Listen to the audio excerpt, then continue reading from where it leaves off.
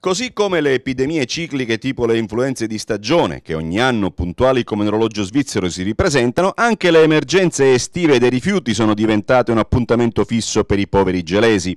Arriva l'estate ed ecco che magicamente compaiono i cumuli di spazzatura ad ogni angolo della città. Il comune denominatore è sempre lo stesso, ossia la chiusura della discarica di Timpazzo ordinata dalla regione siciliana. Lo scorso anno, e fu il TAR a sancirlo, la chiusura risultò assolutamente immotivata, ma questo dettaglio, che dettaglio non è, qualcuno in questa disgraziata città ha fatto finta di non capirlo e soprattutto è stato bravo a non farlo capire alla cittadinanza. Quest'anno il problema non è stato solo locale, l'intera Sicilia infatti ha subito gli strali delle scelte bizzarre di chi governa a Palermo. E così la nostra bella regione è stata ancora una volta deturpata sotto una montagna di spazzatura. Proprio nella stagione estiva, che per la vocazione turistica che è naturale di questa bellissima terra, dovrebbe produrre i frutti migliori in termini di immagine e di crescita economica. Ed invece il dramma dei rifiuti a sommergere città e contrade l'ha fatta ancora una volta da padrona. Ma guai a far dire ai pasdaran del potere che la colpa è di chi ci governa a Palermo, si rischia la lesa maestà. Poi, certo, scendendo di grado e di responsabilità, ci sono anche le colpe delle amministrazioni comunali e persino quelle dei cittadini, in particolare di quelli più incivili, che non solo la raccolta differenziata si rifiutano di fare ed oramai non c'è più scelta, ma abbandonano al primo posto possibile carichi indecenti di spazzatura.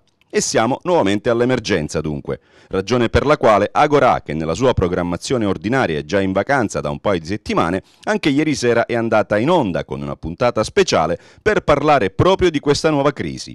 In studio con il conduttore un parterre di ospiti di tutto riguardo, intanto il presidente della commissione consiliare all'ambiente e alla sanità Virginia Farrugia del Movimento 5 Stelle. Quindi il vice sindaco di Gela ed assessore con delega all'ambiente Simone Siciliano. Ed ancora il direttore tecnico della discarica di Timpazzo, ingegner Sergio Montagnino, che ha spiegato in assoluta anteprima ad Agorà che la discarica, su ordinanza urgente del commissario straordinario del libero consorzio della ex provincia di Caltanissetta, verrà riaperta nei prossimi giorni, mettendo fine di fatto allo stato di emergenza.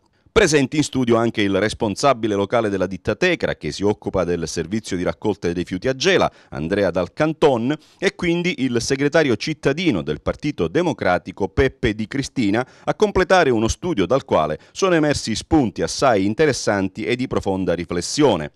Chi volesse perciò rivedere questa ennesima stuzzicante puntata della serie speciali estivi di Agorà potrà farlo con la replica integrale che andrà in onda domani sera su Canale 10 a partire dalle ore 21 oppure già dalle prossime ore sui nostri indirizzi social, ossia il sito internet tg10.it ed il profilo Facebook di Canale 10.